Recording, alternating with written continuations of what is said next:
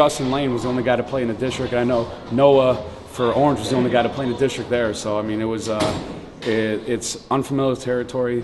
They don't understand like how many how hard it is to get here and get in advance and and uh, how hard you got to work. And I, they're starting to learn it now. I think after their uh, the Woodridge game.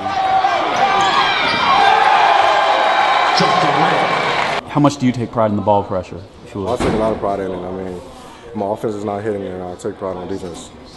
Those dunks get you fired up? Oh yeah, oh yeah.